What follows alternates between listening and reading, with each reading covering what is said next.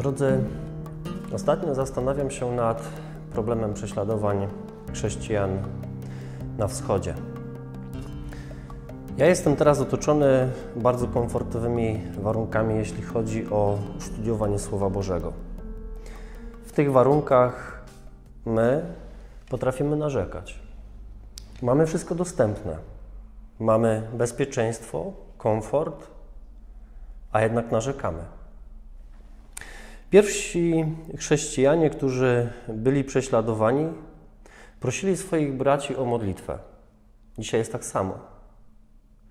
Chrześcijanie, którzy są prześladowani, tak naprawdę mają za złe nam, chrześcijanom, którzy żyją w tym komforcie, że nie robią często jednego.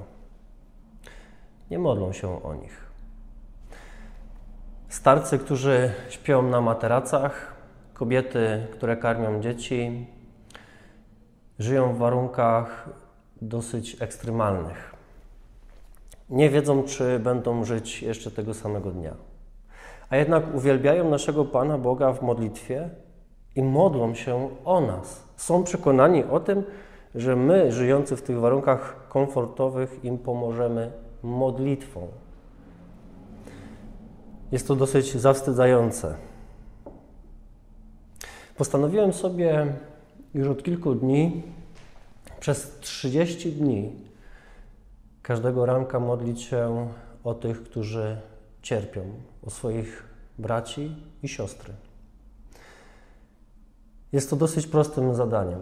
Człowiek wstaje z łóżka, klęka, modli się kilka słów i wspomina tych, którzy mają się źle. Kilka sekund. Natomiast jak to pomaga tym, którzy cierpią? Jest to, myślę, też problemem nas dzisiaj współczesnych. Jak wstawiamy się za naszymi braćmi, za naszymi siostrami? Niech to będzie apel do nas wszystkich.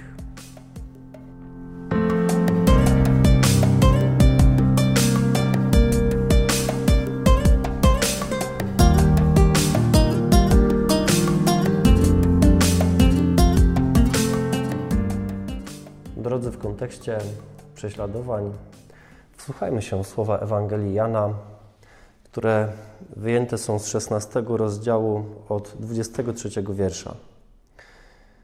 Zaprawdę, zaprawdę powiadam wam, o cokolwiek byście prosili Ojca w imieniu moim dawam. Dotąd o nic nie prosiliście w imieniu moim. Proście, a weźmiecie, aby radość wasza była zupełna.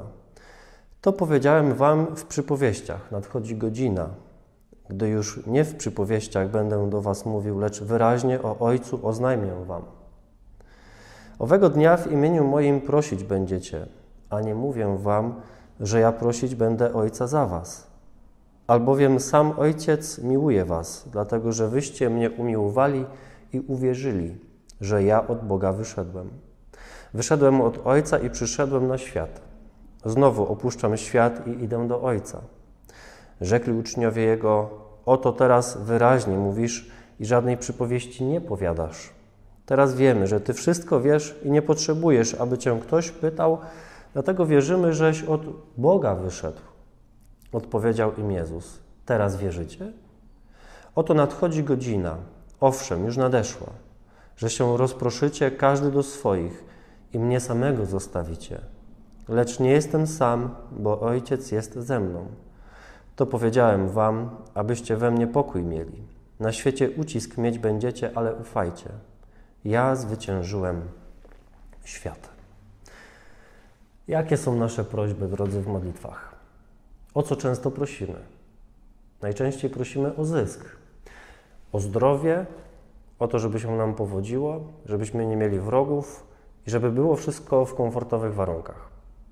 Nawet jeśli Pan Bóg by nam to wszystko tak naprawdę dał, to czy nie będziemy narzekać?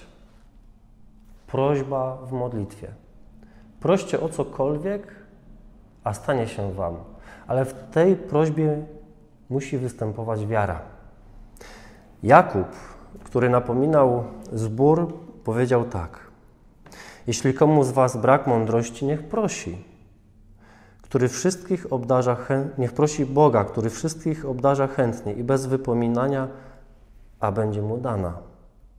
Ale niech prosi z wiarą, bez powątpiewania. Kto bowiem wątpi, podobny jest do fali morskiej przez wiatr tu i tam miotanej. Drodzy, czy często w naszym narzekaniu nie powątpiewamy?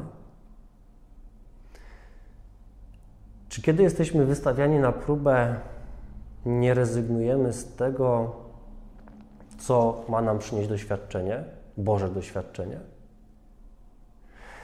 Radujmy się z tego, kiedy próby przechodzimy, dlatego że jesteśmy wtedy o wiele, wiele bardziej, powiedziałbym, więksi w wierze niż wtedy, kiedy śpimy. Mamy się modlić o tych, którzy cierpią. Mamy przedstawiać problemy w modlitwie także innych, nie tylko swoje. Nasze modlitwy nie mają być egoistyczne, ale mają w nich znajdować się ci, którzy nami rządzą, my, którzy rządzimy innymi, my sami, nasze rodziny, ale także ci, którzy są na całym świecie. Przedstawmy, drodzy, w naszej prośbie tych, którzy cierpią, chrześcijan. A niech nasze prośby będą wynikiem tego, że wierzymy w Jezusa Chrystusa jako jednego Pana i Zbawiciela. On jest jedynym pośrednikiem. Dlatego też nasze modły zanośmy w Jego imieniu do naszego Pana. Zastanówmy się nad problemem, bo to jest problem nad problemem naszej modlitwy, z której często można wywnioskować tylko narzekanie, prośba o to, co moje, prośba tylko dla mnie, a co z innymi? W modlitwie przedstawiajmy prośby, ale nie egoistyczne, tylko te, które przynoszą pożytek chrześcijaństwu. Zapraszam Was serdecznie w niedzielę do nabożeństwa. Zostańcie z Bogiem.